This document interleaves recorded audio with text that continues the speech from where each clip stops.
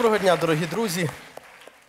Як ви думаєте, хто тут зараз на екрані за мною? Ви впізнаєте цього фольклорного персонажа? Соловій розбійник, так? Да? Ну, в такій е, сучасній мультяшній інтерпретації, звичайно, е, цікава е, така річ. І от що ми знаємо про солов'я розбійника по великому то рахунку?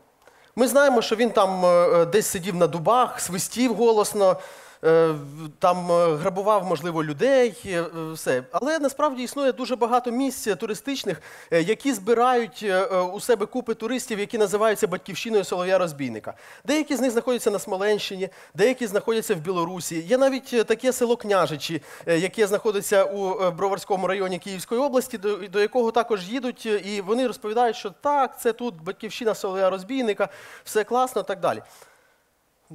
Добре. Чи, е, можливо, є в залі тут хтось, е, хто е, є нащадком солов'я розбійника?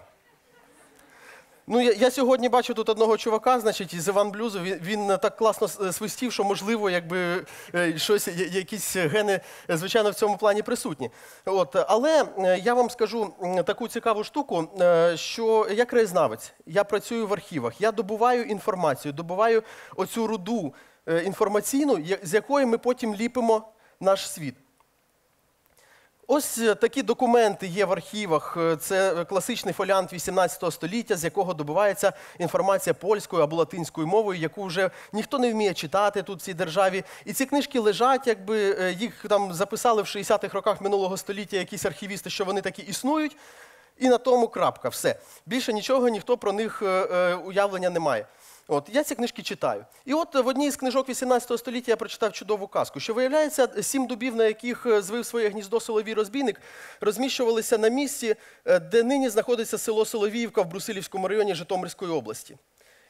Я здивувався, думаю, ну, ну як це так? Е, Що це таке? Я продивився в Вікіпедії, єдине село Соловіївка в Україні знаходиться в Брусилівському районі. Одне єдине на всю Україну.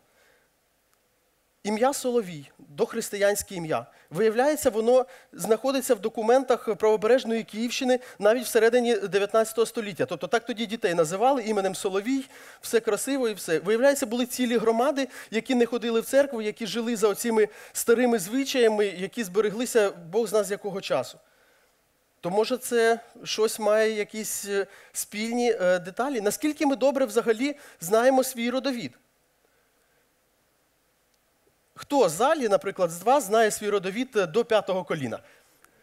О, ну це вже дуже добре. А до десятого?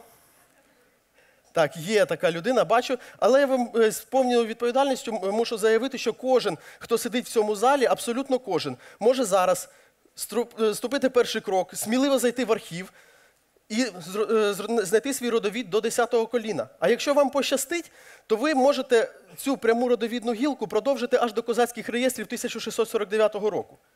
Що для цього потрібно? Тільки зробити перший крок до архіву. Всі ми нащадки козаків.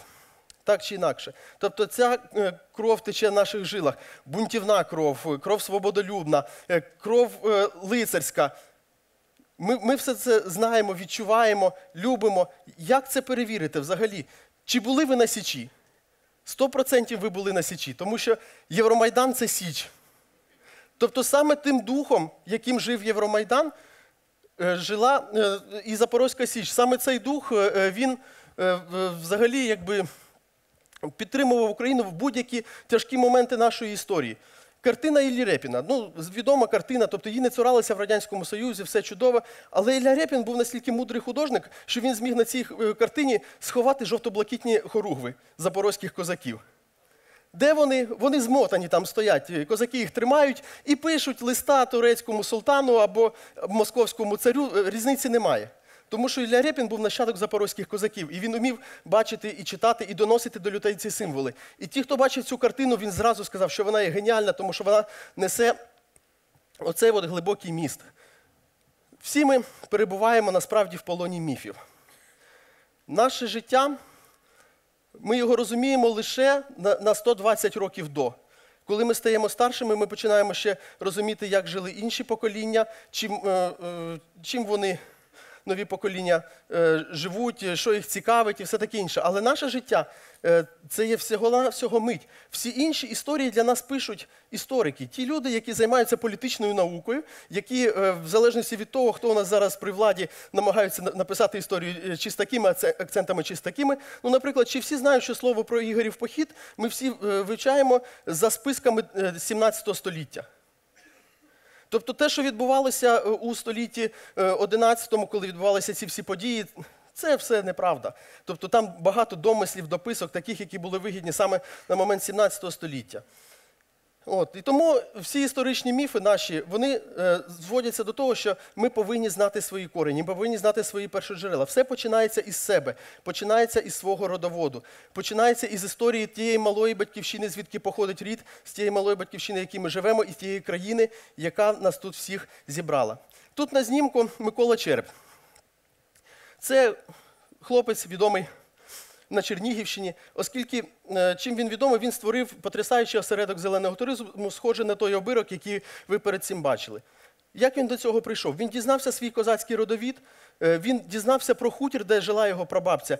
І е, він побачив, що цей хутір уже знелюднів, тобто там не залишилося жодної живої душі. Він продав квартиру, він зібрав всі гроші, які в нього були, і вклав їх, викупив все це село до єдиної хати. Створив там купу е, якби, всяких різних е, будиночків, і в ці будиночки із натхненням їздять іноземці, е, щоб побувати там, пожити в умовах 19 століття, щоб покуштувати солоних помідорчиків, щоб випити справжньої самогонки поліської і всього іншого, що, що може там як, ну, якби їх побачити. Там же він робить полювання, він робить прогулянки верхів, він е, робить стрілецькі курси. Є все, що, що заманеться. Там живе і працює вся його родина, абсолютно. Тобто, таким чином знання родоводу змінило його історію. Е, Потім, е, якщо ви думаєте, що це є тільки український приклад, це неправда. Наприклад, на Лонг-Айленді в Нью-Йорку взяли місцевий театр і зробили в ньому спортивний майданчик місцевого університету. Е, Так само Індія, тобто багато давніх палаців е, е, вони є центрами туристичними.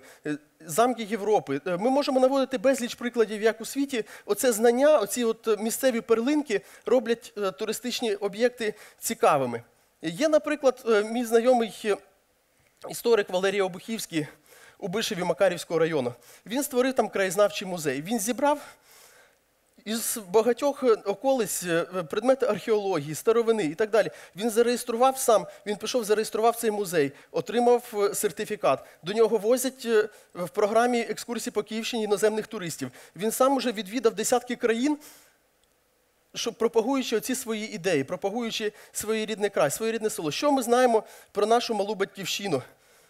Що може нас надихнути на, на те, щоб створити якийсь такий туристичний куточок? Ми їдемо за кордон, ми бачимо інші країни, ми бачимо, хочемо знайти там щось унікальне, якісь перлини, е, щось незвичайне абсолютно. А що ми зробили для того, щоб було в нашому краї? Зробіть цей крок. Ви мусите просто ступити і отримати цю інформацію. Звичайно, е, я, наприклад, е, в мене зовсім інше ну, призвання.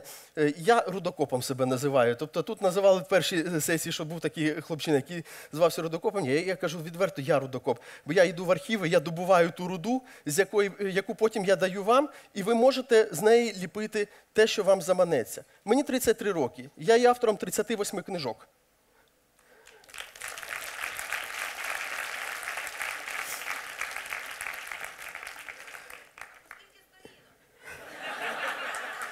Остання 320, тобто, якщо це так цікавить, але ту- тут якби е, інший формат, добре. От.